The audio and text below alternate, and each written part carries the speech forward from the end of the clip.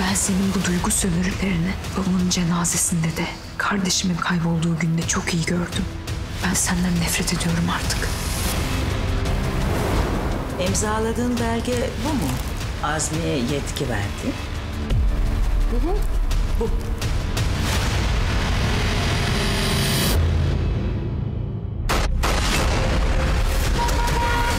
Hazar sen burada kal bak konuşacağım sadece. Cenk ne olur gitme. Geri alsana biraz. Almıyorum birader. Sebep? Tipin hoşuma gitmedi. Zorla kaşı diyorsun yani. Ha?